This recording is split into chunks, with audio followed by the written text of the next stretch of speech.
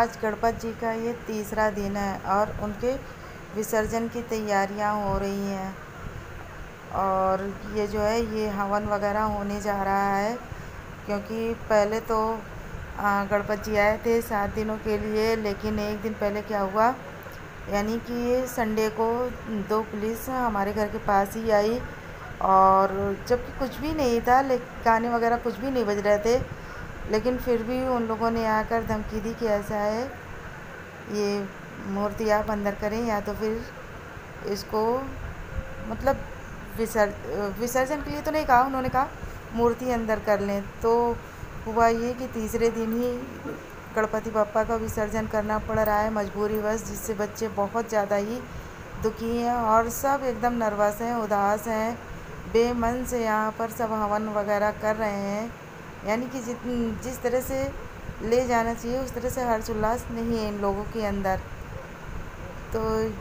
ये जो है यहाँ पर हवन वगैरह हो रहा है और सुबह की आरती हो चुकी है।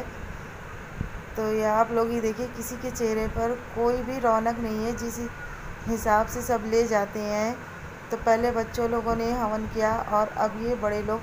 हवन कर रहे हैं, जिनमें सारी लेडीज़ें वगैरह हैं।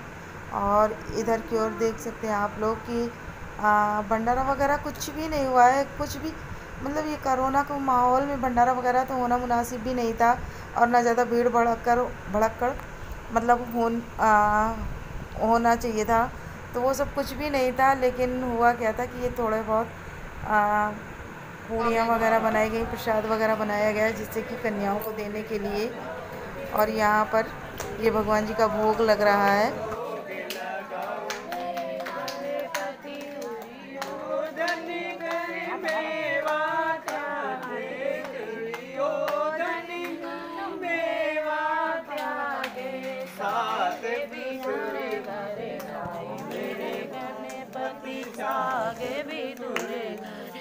मेरे गले पतिया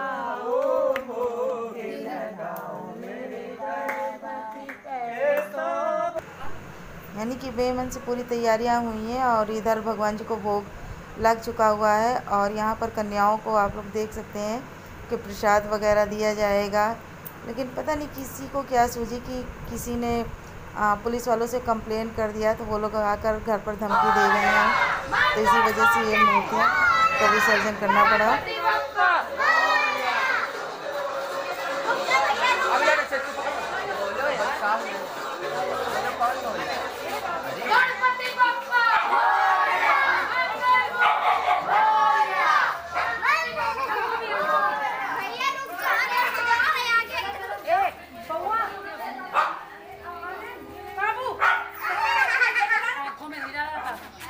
लेकिन पता नहीं किसी को क्या सूझी जिसने कंप्लेन कर दिया, लेकिन जिसने जो